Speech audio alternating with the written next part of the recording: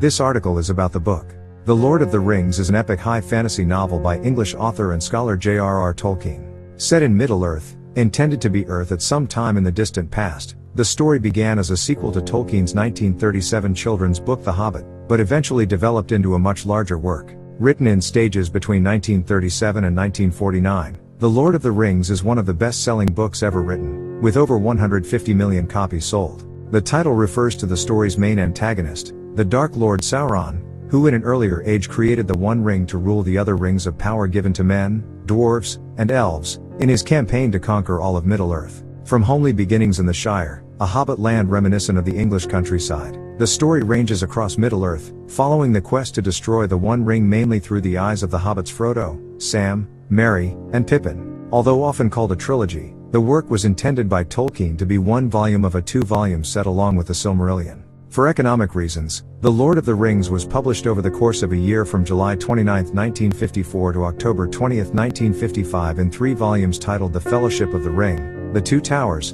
and The Return of the King. The work is divided internally into six books, two per volume, with several appendices of background material. Some later editions print the entire work in a single volume, following the author's original intent. Tolkien's work, after an initially mixed reception by the literary establishment, has been the subject of extensive analysis of its themes and origins. Influences on this earlier work, and on the story of the Lord of the Rings, include philology, mythology, Christianity, earlier fantasy works, and his own experiences in the First World War. The Lord of the Rings has since been reprinted many times and translated into at least 38 languages. Its enduring popularity has led to numerous references in popular culture, the founding of many societies by fans of Tolkien's works, and the publication of many books about Tolkien and his works. It has inspired many derivative works, including paintings, music, films, television, video games, and board games. It has helped to create and shape the modern fantasy genre, within which it is considered one of the greatest books of all time.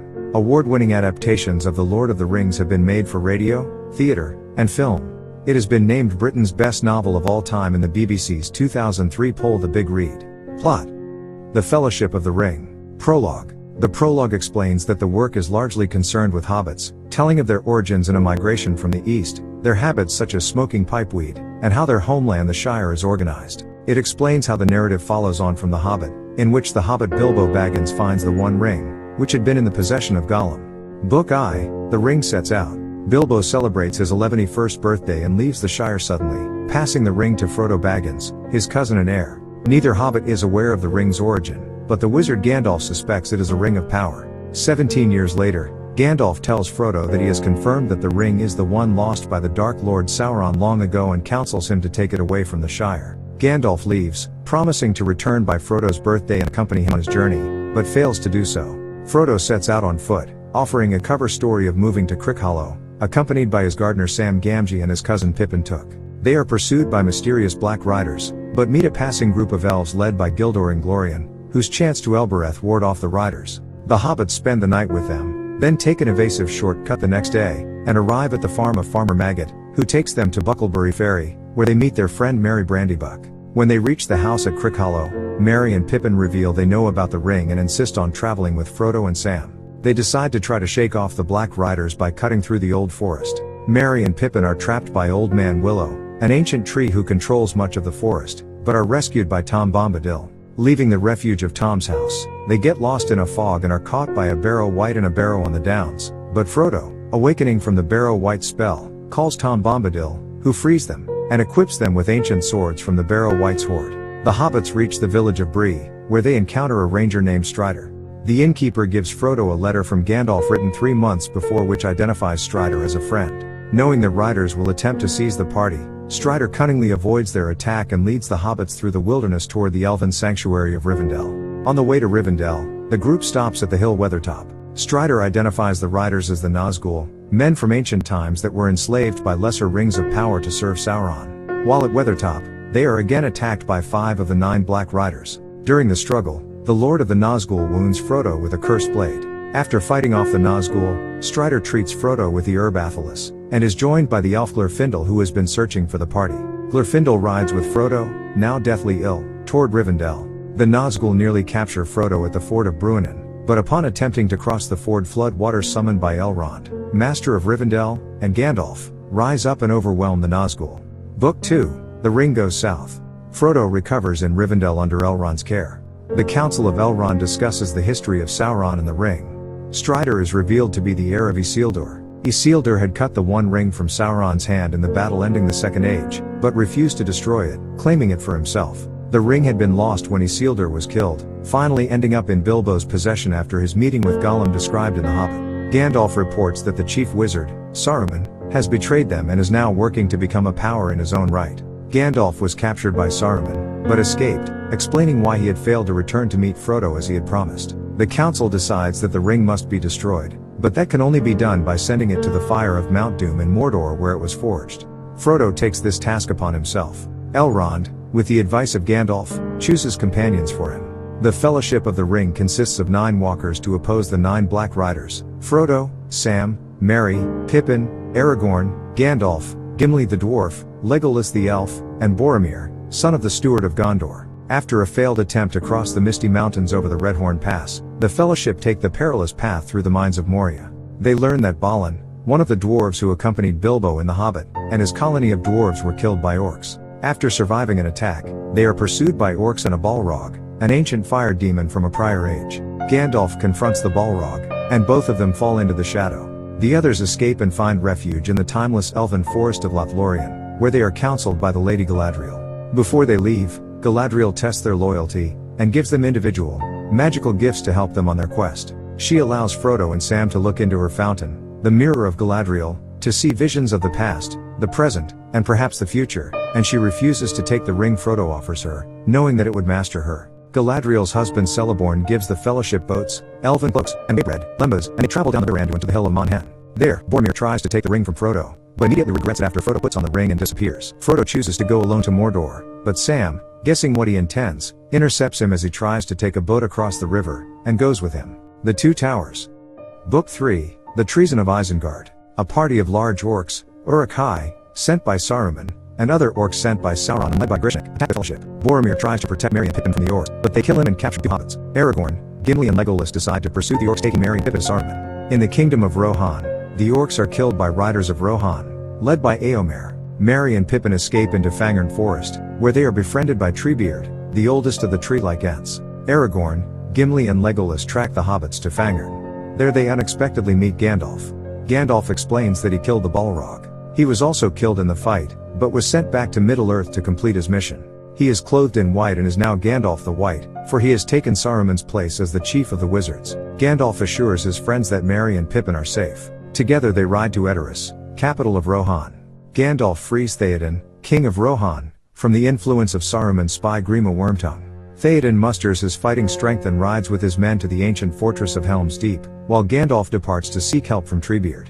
Meanwhile, the Ents, roused by Merry and Pippin from their peaceful ways, attack and destroy Isengard, Saruman's stronghold, and flood it, trapping the wizard in the Tower of Orthanc. Gandalf convinces Treebeard to send an army of Huorns to Theoden's aid. He brings an army of Rohirrim to Helm's Deep, and they defeat the orcs, who flee into the Forest of Huorns, never to be seen again. Gandalf, Theoden, Legolas, and Gimli ride to Isengard, and are surprised to find Merry and Pippin relaxing amidst the ruins. Gandalf offers Saruman a chance to turn away from evil. When Saruman refuses to listen, Gandalf strips him of his rank and most of his powers. After Saruman leaves, Wormtongue throws down a hard round object to try to kill Gandalf. Pippin picks it up. Gandalf swiftly takes it, but Pippin steals it in the night. It is revealed to be a palantir, a seeing stone that Saruman used to speak with Sauron, and that Sauron used to ensnare him. Sauron sees Pippin, but misunderstands the circumstances. Gandalf immediately rides for Minas Tirith, chief city of Gondor, taking Pippin with him. Book 4, The Ring Goes East. Frodo and Sam, heading for Mordor, struggle through the barren hills and cliffs of the Emyn Muil. They become aware they are being watched and tracked. On a moonlit night they capture Gollum, who has followed them from Moria. Frodo makes Gollum swear to serve him, as ring bearer, and asks him to guide them to Mordor. Gollum leads them across the dead marshes. Sam overhears Gollum debating with his alter ego, Smeagol, whether to break his promise and steal the ring. They find that the Black Gate of Mordor is too well guarded, so instead they travel south through the land of Ithilien to a secret pass that Gollum knows. On the way, they are captured by rangers led by Faramir, Boromir's brother, and brought to the secret fastness of Henneth-Annûn. Faramir resists the temptation to seize the ring and, disobeying standing orders to arrest strangers found in Ithilien, releases them. Gollum, who is torn between his loyalty to Frodo and his desire for the ring, guides the hobbits to the pass, but leads them into the lair of the great spider Shelob in the tunnels of Cirith Ungol. Frodo holds up the gift given to him in Lothlorien, the phial of Galadriel, which holds the light of Eärendil's star. The light drives Shelob back. Frodo cuts through a giant web using his sword Sting. Shelob attacks again, and Frodo falls to her venom. Sam picks up Sting in the phial.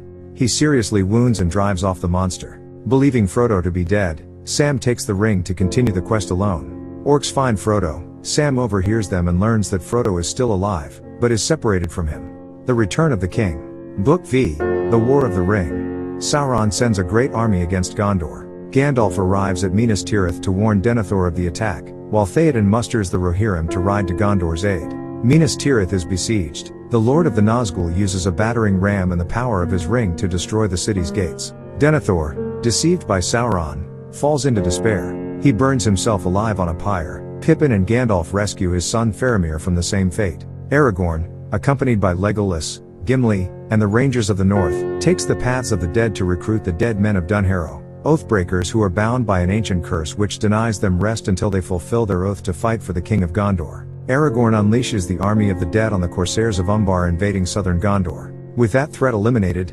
Aragorn uses the Corsairs' ships to transport the men of southern Gondor up the Anduin, reaching Minas Tirith just in time to turn the tide of battle. Theoden's niece Eowyn, who joined the army in disguise, kills the Lord of the Nazgul with help from Merry, both are wounded. Together, Gondor and Rohan defeat Sauron's army in the Battle of the Pelennor Fields, though at great cost, Theoden is among the dead. Aragorn enters Minas Tirith and heals Faramir, Eowyn, and Merry. He leads an army of men from Gondor and Rohan, marching through Ithilien to the Black Gate to distract Sauron from his true danger. At the Battle of the Morannon, his army is vastly outnumbered. Book Vi, the end of the Third Age. Meanwhile, Sam rescues Frodo from the Tower of Cirith Ungol. They set out across Mordor. When they reach the edge of the cracks of doom, Frodo cannot resist the ring any longer. He claims it for himself and puts it on. Gollum suddenly reappears. He struggles with Frodo and bites off Frodo's finger with the ring still on it. Celebrating wildly, Gollum loses his footing and falls into the fire, taking the ring with him. When the ring is destroyed, Sauron loses his power forever. All he created collapses, the Nazgul perish, and his armies are thrown into such disarray that Aragorn's forces emerge victorious. Aragorn is crowned king of Arnor and Gondor, and weds Arwen, daughter of Elrond. Theoden is buried and Eomer is crowned king of Rohan. His sister Eowyn is engaged to marry Faramir, now steward of Gondor and prince of Ithilien. Galadriel, Celeborn, and Gandalf meet and say farewell to Treebeard, and to Aragorn. The four hobbits make their way back to the Shire, only to find that it has been taken over by men directed by Sharky, whom they later discover to be Saruman. The hobbits, led by Merry, raise a rebellion and scour the Shire of Sharky's evil. Grima Wormtongue turns on Saruman and kills him in front of Bag End, Frodo's home. He is killed in turn by hobbit archers. Merry and Pippin are celebrated as heroes.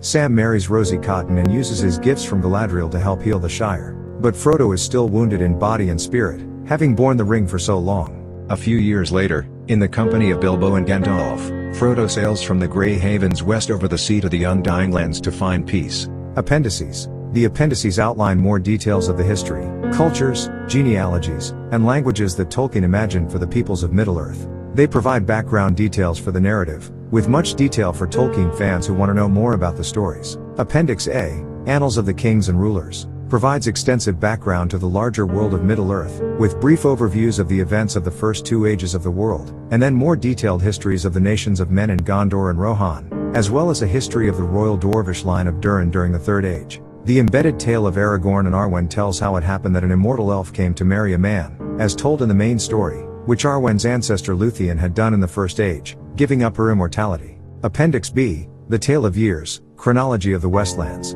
It is a timeline of events throughout the series, and ancient events affecting the narrative, and in lesser detail, it gives the story's context in the fictional chronology of the larger mythology. It also tells that Sam gives his daughter Elanor the fictional Red Book of Westmarch, which contains the autobiographical stories of Bilbo's adventures at the opening of the war, and Frodo's role in the full-on War of the Ring, and serves as Tolkien's source for The Hobbit and The Lord of the Rings, with Tolkien representing himself as a translator, rather than an epic novelist. It says that there was a tradition that after handing over the book, Sam crossed west over the sea himself, the last of the ring bearers, and that some years later, after the deaths of Aragorn and Arwen, Legolas and Gimli also sailed together over sea. Appendix C, Family trees, hobbits.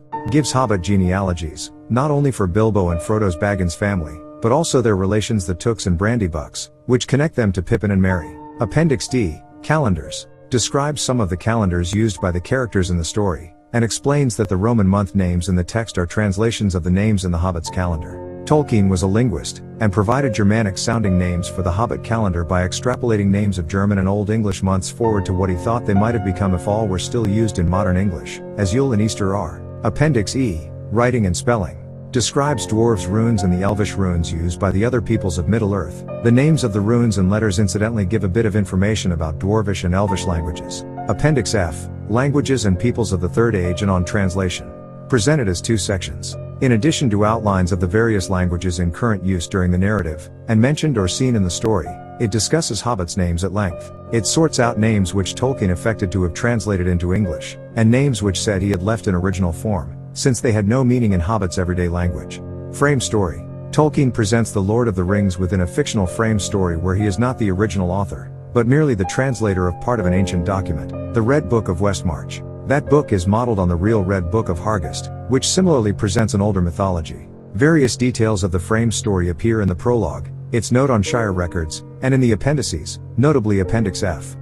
In this frame story, the Red Book is the purported source of Tolkien's other works relating to Middle-earth, The Hobbit, The Silmarillion, and The Adventures of Tom Bombadil. Concept and creation. Background. Although a major work in itself, the Lord of the Rings was only the last movement of a much older set of narratives Tolkien had worked on since 1917 encompassing the Silmarillion, in a process he described as mythopoeia. The Lord of the Rings started as a sequel to Tolkien's work The Hobbit, published in 1937. The popularity of The Hobbit had led George Allen and Unwin, the publishers, to request a sequel. Tolkien warned them that he wrote quite slowly, and responded with several stories he had already developed. Having rejected his contemporary drafts for the Silmarillion, putting Roverandom on hold, and accepting Farmer Giles of Ham, Allen and Unwin continued to ask for more stories about hobbits. Writing. Persuaded by his publishers, he started a new Hobbit in December 1937. After several false starts, the story of the One Ring emerged. The idea for the first chapter, a long expected party, arrived fully formed, although the reasons behind Bilbo's disappearance, the significance of the ring, and the title The Lord of the Rings did not come until the spring of 1938. Originally, he planned to write a story in which Bilbo had used up all his treasure and was looking for another adventure to gain more. However, he remembered the ring and its powers and thought that would be a better focus for the new work. As the story progressed, he brought in elements from the Silmarillion mythology. Writing was slow, because Tolkien had a full-time academic position, marked exams to bring in a little extra income, and wrote many drafts. Tolkien abandoned The Lord of the Rings during most of 1943 and only restarted it in April 1944, as a serial for his son Christopher Tolkien, who was sent chapters as they were written while he was serving in South Africa with the Royal Air Force. Tolkien made another major effort in 1946 and showed the manuscript to his publishers in 1947. The story was effectively finished the next year, but Tolkien did not complete the revision of earlier parts of the work until 1949. The original manuscripts, which total 9,250 pages, now reside in the J.R.R. Tolkien collection at Marquette University. Poetry. Unusually for 20th century novels, the prose narrative is supplemented throughout by over 60 pieces of poetry. These include verse and songs of many genres, for wandering, marching to war, drinking, and having a bath, narrating ancient myths, riddles, prophecies, and magical incantations, and of praise and lament, elegy. Some, such as riddles, charms, elegies, and narrating heroic actions are found in Old English poetry. Scholars have stated that the poetry is essential for the fiction to work aesthetically and thematically, as it adds information not given in the prose, and it brings out characters and their backgrounds. The poetry has been judged to be of high technical skill, reflected in Tolkien's prose. For instance, he wrote much of Tom Bombadil's speech in meter. Illustrations. Tolkien worked on the text using his maps of Middle-earth as a guide, to ensure the elements of the story fitted together in time and space. He prepared a variety of types of illustration, maps, calligraphy, drawings, cover designs, even a facsimile painting of the Book of Mazarbul, but only the maps, ring, and a drawing of the doors of Durin were included in the first edition. The hardback editions sometimes had cover illustrations by Tolkien, sometimes by other artists. According to the New York Times, Barbara Remington's cover designs for Ballantine's paperback editions achieved mass cult status in the 1960s, particularly on college campuses across America. Influences Tolkien drew on a wide array of influences including language, Christianity, mythology and Germanic heroic legend including the Norse Volsunga saga, archaeology, especially at the Temple of Nodens, ancient and modern literature, like Finnish 19th century epic poetry The Kalevala by Elias Lönnrot, and personal experience. He was inspired primarily by his profession, philology. His work centered on the study of Old English literature, especially Beowulf, and he acknowledged its importance to his writings. He was a gifted linguist, influenced by Celtic, Finnish, Slavic, and Greek language and mythology. Commentators have attempted to identify literary and topological antecedents for characters, places and events in Tolkien's writings. He acknowledged that he had enjoyed adventure stories by authors such as John Buchan and Rider Haggard. The arts and crafts polymath William Morris was a major influence, and Tolkien undoubtedly made use of some real place names, such as Bag End, the name of his aunt's home. Tolkien stated, too, that he had been influenced by his childhood experiences of the English countryside of Worcestershire near Sarehole Mill, and its urbanization by the growth of Birmingham, and his personal experience of fighting in the trenches of the First World War. Moreover, the militarization and industrialization inspired the character of Sauron and his forces. The orcs represented the worst of it as workers that have been tortured and brutalized by the war and industry. Themes Scholars and critics have identified many themes in the book with its complex interlaced narrative, including a reversed quest, the struggle of good and evil, death and immortality, fate and free will, the addictive danger of power, and various aspects of Christianity such as the presence of three Christ figures, for prophet, priest, and king, as well as elements like hope and redemptive suffering. There is a common theme throughout the work of language, its sound, and its relationship to peoples and places, along with hints of providence and descriptions of weather and landscape.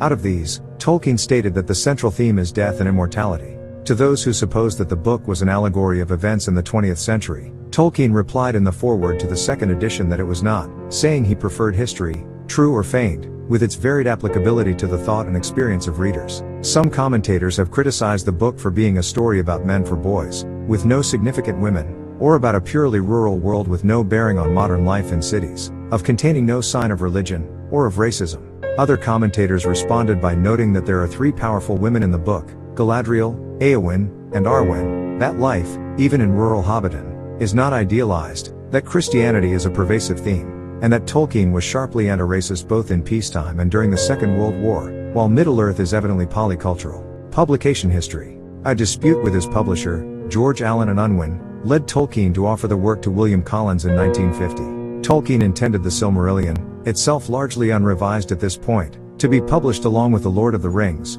but Allen and Unwin were unwilling to do this. After Milton Waldman, his contact at Collins, expressed the belief that The Lord of the Rings itself urgently wanted cutting, Tolkien eventually demanded that they publish the book in 1952. Collins did not, and so Tolkien wrote to Allen and Unwin, saying, I would gladly consider the publication of any part of the stuff, fearing his work would never see the light of day. For publication, the work was divided into three volumes to minimize any potential financial loss due to the high cost of typesetting and modest anticipated sales. The Fellowship of the Ring, Books 1 and 2, The Two Towers, Books 3 and 4, and The Return of the King, Books 5 and 6 plus 6 appendices. Delays in producing appendices, maps and especially an index led to the volumes being published later than originally hoped, on July 29, 1954, on November 11, 1954 and on October 20, 1955 respectively in the United Kingdom.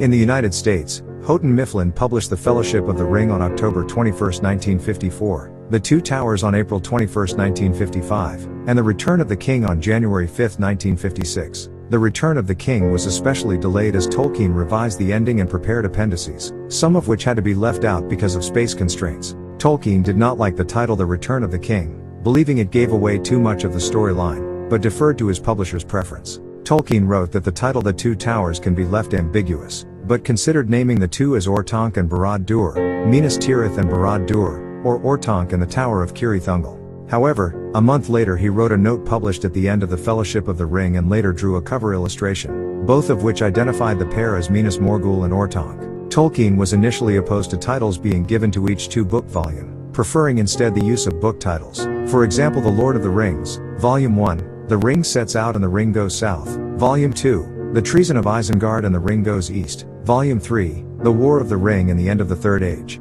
However, these individual book titles were dropped, and after pressure from his publishers, Tolkien suggested the volume titles. Volume 1, The Shadow Grows, Volume 2, The Ring in the Shadow, Volume 3, The War of the Ring or The Return of the King. Because the three volume binding was so widely distributed, the work is often referred to as the Lord of the Rings trilogy. In a letter to the poet W. H. Auden, who famously reviewed the final volume in 1956, Tolkien himself made use of the term trilogy for the work though he did at other times consider this incorrect, as it was written and conceived as a single book. It is often called a novel, however, Tolkien objected to this term as he viewed it as a heroic romance.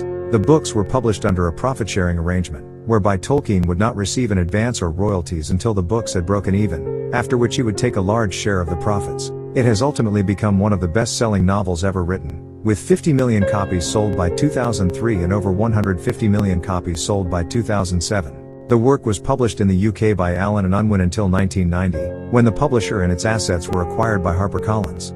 Additions and revisions. In the early 1960s Donald A. Wollheim, science fiction editor of the paperback publisher Ace Books, claimed that The Lord of the Rings was not protected in the United States under American copyright law because Houghton Mifflin, the U.S. hardcover publisher, had neglected to copyright the work in the United States. Then, in 1965, Ace Books proceeded to publish an edition, unauthorized by Tolkien and without paying royalties to him. Tolkien took issue with this and quickly notified his fans of this objection. Grassroots pressure from these fans became so great that Ace Books withdrew their edition and made a nominal payment to Tolkien. Authorized editions followed from Ballantine Books and Houghton Mifflin to tremendous commercial success. Tolkien undertook various textual revisions to produce a version of the book that would be published with his consent and establish an unquestioned U.S. copyright. This text became the second edition of The Lord of the Rings, published in 1965. The first Ballantine paperback edition was printed in October that year, selling a quarter of a million copies within 10 months. On September 4, 1966, the novel debuted on the New York Times' paperback bestsellers list as number 3, and was number 1 by 4th of December, a position it held for 8 weeks. Houghton Mifflin editions after 1994 consolidate variant revisions by Tolkien, and corrections supervised by Christopher Tolkien, which resulted, after some initial glitches, in a computer-based unified text. In 2004, for the 50th anniversary edition, Wayne G. Hammond and Christina Scull, under supervision from Christopher Tolkien, studied and revised the text to eliminate as many errors and inconsistencies as possible, some of which had been introduced by well-meaning compositors of the first printing in 1954, and never been corrected. The 2005 edition of the book contained further corrections noticed by the editors and submitted by readers. Yet more corrections were made in the 60th anniversary edition in 2014. Several editions, including the 50th anniversary edition, print the whole work in one volume, with the result that pagination varies widely over the various editions. Posthumous publication of drafts. From 1988 to 1992 Christopher Tolkien published the surviving drafts of The Lord of the Rings, chronicling and illuminating with commentary the stages of the text's development, in volumes 6 to 9 of his History of Middle-earth series. The four volumes carry the titles The Return of the Shadow, The Treason of Isengard, The War of the Ring, and Sauron Defeated. Translations. The work has been translated, with varying degrees of success, into at least 38, and reportedly at least 70, languages. Tolkien, an expert in philology, examined many of these translations, and made comments on each that reflect both the translation process and his work. As he was unhappy with some choices made by early translators, such as the Swedish translation by Åke Ohlmarks, Tolkien wrote a guide to the names in The Lord of the Rings, 1967. Because The Lord of the Rings purports to be a translation of the fictitious Red Book of Westmarch, using the English language to represent the Westron of the original, Tolkien suggested that translators attempt to capture the interplay between English and the invented nomenclature of the English work, and gave several examples along with general guidance. Reception 1950s. Early reviews of the work were mixed. The initial review in the Sunday Telegraph described it as among the greatest works of imaginative fiction of the 20th century. The Sunday Times echoed this sentiment, stating that the English-speaking world is divided into those who have read The Lord of the Rings and The Hobbit and those who are going to read them. The New York Herald Tribune appeared to predict the book's popularity, writing in its review that they were destined to outlast our time. W. H. Auden, a former pupil of Tolkien's and an admirer of his writings, regarded The Lord of the Rings as a masterpiece, further stating that in some cases it outdid the achievement of John Milton's Paradise Lost. Kenneth F. Slater wrote in Nebula Science Fiction, April 1955.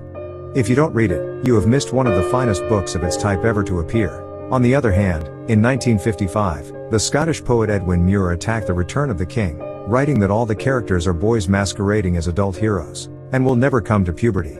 Hardly one of them knows anything about women, causing Tolkien to complain angrily to his publisher. In 1956, the literary critic Edmund Wilson wrote a review entitled Ooh, Those Awful Orcs, calling Tolkien's work juvenile trash. and saying Dr. Tolkien has little skill at narrative and no instinct for literary form. Within Tolkien's literary group, the Inklings, the work had a mixed reception. Hugo Dyson complained loudly at its readings, whereas C.S. Lewis had very different feelings, writing, Here are beauties which pierce like swords or burn like cold iron. Here is a book which will break your heart. Lewis observed that the writing is rich, in that some of the good characters have darker sides, and likewise some of the villains have good impulses. Despite the mixed reviews and the lack of a paperback until the 1960s, The Lord of the Rings initially sold well in hardback.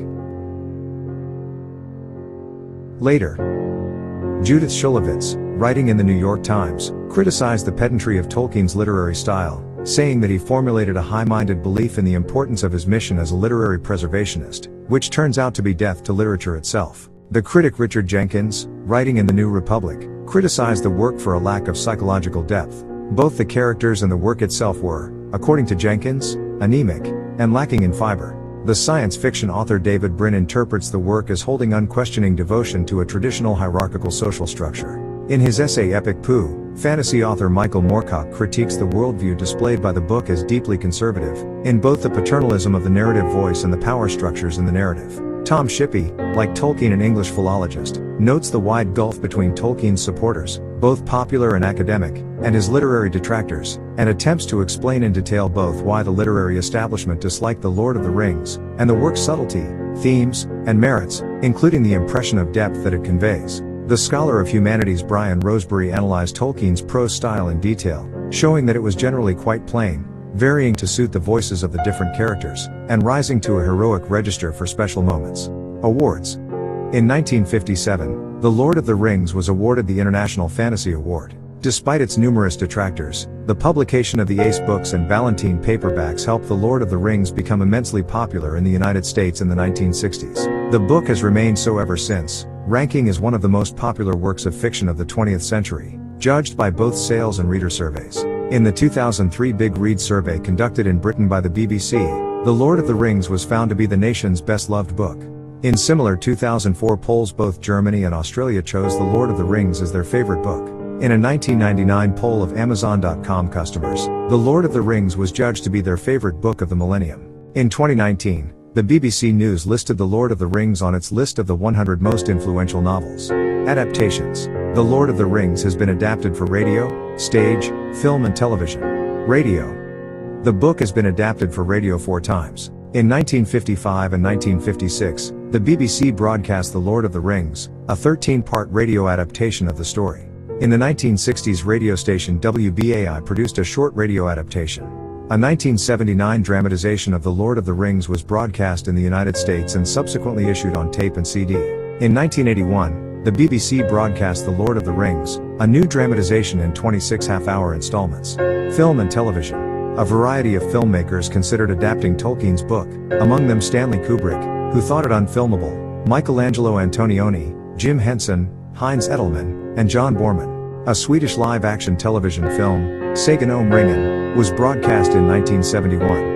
In 1978, Ralph Bakshi made an animated film version covering the Fellowship of the Ring and part of the Two Towers, to mixed reviews. In 1980, Rankin slash Bass released an animated TV special based on the closing chapters of The Return of the King, gaining mixed reviews. In Finland, a live-action television miniseries, Hobbitit, was broadcast in 1993 based on The Lord of the Rings, with a flashback to Bilbo's encounter with Gollum in The Hobbit. A far more successful adaptation was Peter Jackson's live-action The Lord of the Rings film trilogy, produced by New Line Cinema and released in three installments as The Lord of the Rings, The Fellowship of the Ring, 2001, The Lord of the Rings, The Two Towers, 2002, and The Lord of the Rings, The Return of the King, 2003. All three parts won multiple Academy Awards, including consecutive Best Picture nominations. The final installment of this trilogy was the second film to break the $1 billion barrier and won a total of 11 Oscars, something only two other films in history, Ben-Hur and Titanic, have accomplished, including Best Picture, Best Director, and Best Adapted Screenplay. Commentators including Tolkien scholars, literary critics and film critics are divided on how faithfully Jackson adapted Tolkien's work, or whether a film version is inevitably different, and if so the reasons for any changes, and the effectiveness of the result.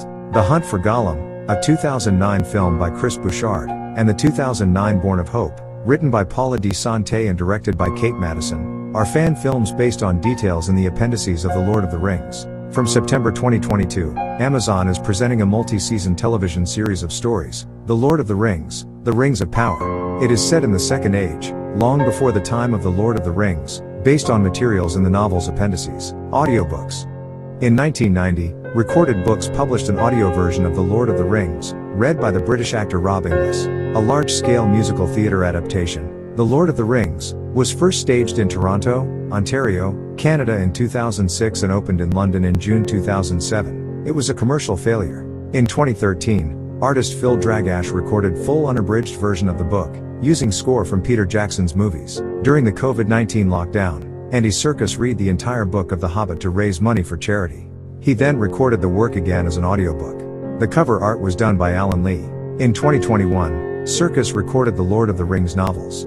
Legacy Influence on fantasy. The enormous popularity of Tolkien's work expanded the demand for fantasy. Largely thanks to The Lord of the Rings, the genre flowered throughout the 1960s and enjoys popularity to the present day. The opus has spawned many imitations, such as The Sword of Shannara, which Lin Carter called the single most cold-blooded, complete rip-off of another book that I have ever read, as well as alternate interpretations of the story, such as The Last Ringbearer, The Legend of Zelda, which popularized the action-adventure game genre in the 1980s, was inspired by The Lord of the Rings among other fantasy books. Dungeons & Dragons, which popularized the role-playing game genre in the 1970s, features several races from The Lord of the Rings, including halflings, hobbits, elves, dwarves, half-elves, orcs, and dragons. However, Gary Gygax, lead designer of the game, maintained that he was influenced very little by The Lord of the Rings, stating that he included these elements as a marketing move to draw on the popularity the work enjoyed at the time he was developing the game. Because Dungeons & Dragons has gone on to influence many popular games, especially role-playing video games, the influence of The Lord of the Rings extends to many of them, with titles such as Dragon Quest, EverQuest, the Warcraft series, and the Elder Scrolls series of games as well as video games set in Middle-earth itself. Music. In 1965, the songwriter Donald Swann, best known for his collaboration with Michael Flanders as Flanders and Swann, set six poems from The Lord of the Rings and one from The Adventures of Tom Bombadil, Errantry, to music. When Swann met with Tolkien to play the songs for his approval, Tolkien suggested for Namárië, Galadriel's Lament, a setting reminiscent of Plain Chant, which Swann accepted. The songs were published in 1967 as The Road Goes Ever On, a song cycle, and a recording of the songs performed by singer William Elvin with Swann on piano was issued that same year by Caedmon Records as Poems and Songs of Middle-earth. Rock bands of the 1970s were musically and lyrically inspired by the fantasy-embracing counterculture of the time. The British rock band Led Zeppelin recorded several songs that contain explicit references to The Lord of the Rings, such as mentioning Gollum and Mordor in Ramble On, the Misty Mountains in Misty Mountain Hop, and Ringwraiths in the Battle of Evermore. In 1970, the Swedish musician Bo Hansson released an instrumental concept album entitled Sagan om Ringen, The Saga of the Ring, the title of the Swedish translation at the time. The album was subsequently released internationally as music inspired by Lord of the Rings in 1972. From the 1980s onwards, many heavy metal acts have been influenced by Tolkien. In 1988, the Dutch composer and trombonist Johan de Meij completed his Symphony No. 1 The Lord of the Rings. It had five movements, titled Gandalf, Lothlorien, Gollum, Journey in the Dark, and Hobbits. The 1991 album Shepherd Moons by the Irish musician Enya contains an instrumental titled Lothlorien, in reference to the home of the Wood Elves. Impact on popular culture. The Lord of the Rings has had a profound and wide-ranging impact on popular culture, beginning with its publication in the 1950s, but especially during the 1960s and 1970s, when young people embraced it as a countercultural saga. Frodo Lives and Gandalf for President were two phrases popular amongst United States Tolkien fans during this time. Its impact is such that the words Tolkienian and Tolkienesque have entered the Oxford English Dictionary, and many of his fantasy terms, formerly little known in English, such as orc and warg, have become widespread in that domain. Among its effects are numerous parodies, especially Harvard Lampoon's Bored of the Rings, which has had the distinction of remaining continuously in print from its publication in 1969, and of being translated into at least 11 languages. In 1969, Tolkien sold the merchandising rights to The Lord of the Rings and The Hobbit to United Artists under an agreement stipulating a lump sum payment of £10,000 plus a 7.5% royalty after costs, payable to Allen and Unwin and the author. In 1976, three years after the author's death, United Artists sold the rights to Saul Zaentz Company, who now trade as Tolkien Enterprises. Since then all authorized merchandise has been signed off by Tolkien Enterprises, although the intellectual property rights of the specific likenesses of characters and other imagery from various adaptations is generally held by the adapters. Outside any commercial exploitation from adaptations, from the late 1960s onwards there has been an increasing variety of original licensed merchandise, with posters and calendars created by illustrators such as Barbara Remington. The work was named Britain's best novel of all time in the BBC's The Big Read. In 2015, the BBC ranked The Lord of the Rings 26th on its list of the 100 greatest British novels. It was included in Le Monde list of 100 books of the century.